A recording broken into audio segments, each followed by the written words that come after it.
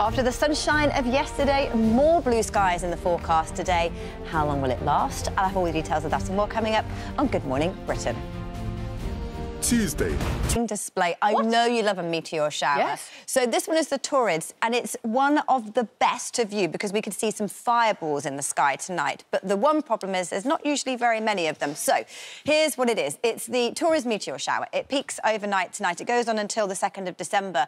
A meteor shower is when Earth flies through the debris of a comet. Now, these rocks are bigger than any other meteor shower we fly through. They travel slower, which means when you see them in the sky, they'll be brighter, they'll last longer, and we could see fireballs. And the good news is the best time to view them around about midnight, look towards the constellation of Taurus.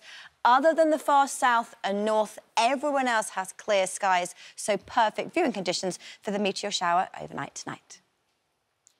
So it's perfect timing for the weather to break because we've had grey, cloudy, leaden skies for so long. Yesterday, so many people enjoying the sunshine finally, and more of that today. It does give rise to a bit of a misty, chilly start this morning, but plenty of sunshine takes us through the day yet again today. First thing this morning, some clear skies. That's allowed temperatures to fall close to freezing. rock are a bit mm. bigger than they normally are. Yeah. Is there a risk or a chance that some of them will Good question. I just read up on it, and no, there's not. They're, they're going to be high enough for our atmosphere. They just skim the edge of our atmosphere, Oh, I and see. that's the burn. no need for safe tin, on no need for tin hats or anything? like No, we're all fine, Richard. Okay. Thank you.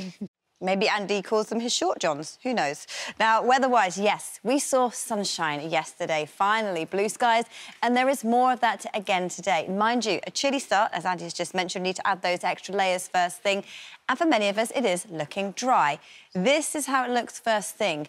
It's largely clear. The mist and fog don't occur very often in the night, maybe only around about five or six within the hour. So good luck with that. Make sure you wrap up and let's see how things play out as we head through the next seven days. So our outlook shows that actually things stay pretty settled. No major changes.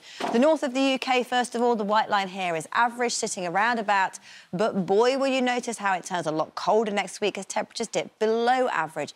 Potential chance of rainfall across the north of the UK. Sunny spells fine and dry, but with the colder weather next week comes the return of some wet weather too, the first in a long time. Fortunes for the south of England and Wales for the next seven days. Again, temperatures sitting around about average, feeling very nice in the sunshine, but it does turn cooler into next week when we see a change in type of weather. So, largely fine and dry by day, chilly by night for the rest of the week. A good-looking weekend ahead that turns more unsettled as it turns colder into next week.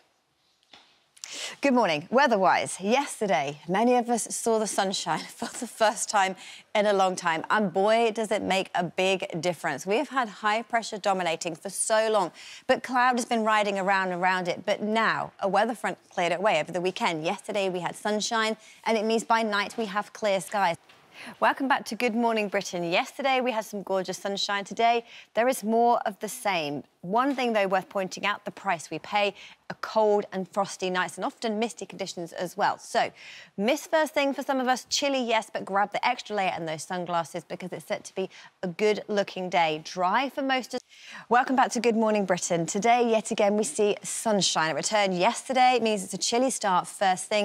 A little bit of mist and low cloud, but that will soon lift and break. So, a few light showers across the southeast of England, but everybody else, light winds, plenty of sunshine, staying dry and feeling very nice indeed with the blue skies. Temperatures today around about 10 to 13 degrees.